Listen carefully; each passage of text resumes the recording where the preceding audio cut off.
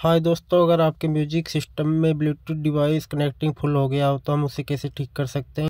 इसको ठीक करने के लिए जो हमारे म्यूज़िक सिस्टम में हमें ब्लैक कलर का बटन दे रखा है, उसे प्रेस करना है। प्रेस कर कर उसे घुमाना है। घुमाने के बाद में हमें बीटी मोड पर जाना है।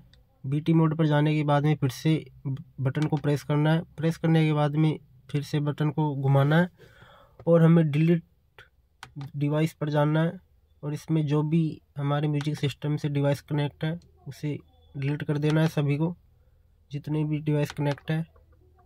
डिलीट करने के बाद में हमारा जो म्यूज़िक सिस्टम है बिल्कुल सही हो जाएगा और आप जब भी ब्लूटूथ कनेक्टिंग करेंगे तो वो इससे आसानी से पेयरिंग हो जाएगा।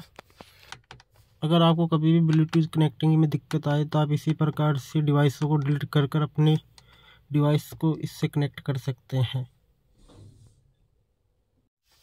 अगर आपको वीडियो पसंद आए तो वीडियो को लाइक कीजिए चैनल को सब्सक्राइब कीजिए। धन्यवाद।